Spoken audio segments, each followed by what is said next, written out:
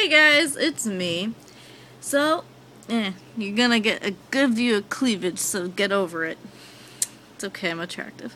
Anyway, so in honor of my reborn pregnancy, I'm going to fake one. And, like, for full legit nine months, because I'm cool. And I also want to see what it would be like. So, I also have, because I was cool when I was little, I wanted to see what I would look like pregnant. So I came up with a bunch of different ways. And now I might as well share them with you for other ones who want to be, like, see what a reborn pregnancy, yada yada, would be like. So the first one I'm going to show you is by stuffing your shirt with little shirts. I used to think I was very original, but I'm not, but apparently. But I do it a different way. So, here we go. Yeah, I told you you'd get cleavage. Be lucky I'm wearing a bra. It's bedtime. I don't wear bras to bed. So you should feel honored. Okay. Let me just adjust this.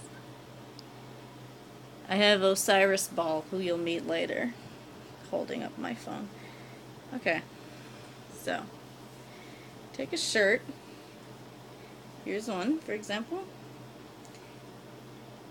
Take it, scrunch it up into a ball. Nothing fancy about that. Well, it also depends on how big you want it. Since I'm bold, I go big. Take another shirt. Find the head. Put your scrunched up ball inside the hole. Wrap it around and scrunch it up. And when you find however big you want it, you can stop. And I'm going to take another shirt. Well, it's upside down. This pretty shirt. Backwards now. Doing real good. Take your ball. Put it in the shirt. Scrunchy, scrunch, scrunch. So, I said I go big, so I have like five shirts. Next shirt. Same thing. Scrunch it.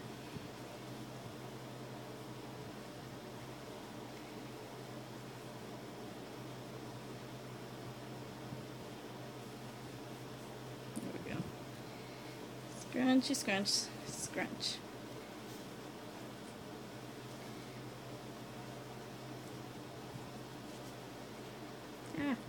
You coming out. There we go.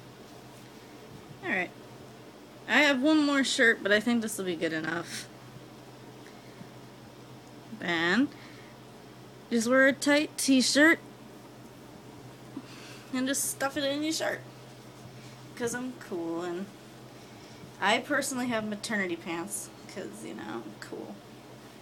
But originally I didn't, so I would just get stretchy pants, but I'll show you some. This, stuff it in your shirt, pat it down, tamp, tamp, tamp, because I'm a mother hen now. Straighten out any bumps. Oh, actually, that's a good idea. And if you have stretchy pants or any pants, just tuck it in.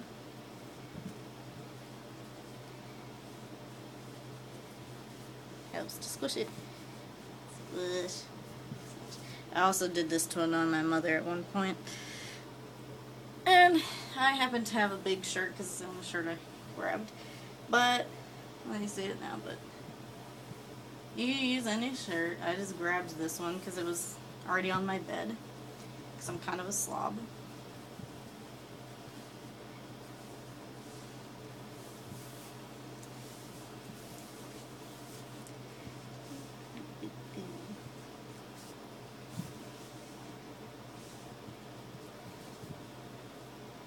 Of course, I have a new spoiled by the third one. And ta-da! Any shirt works, just straighten it out. See?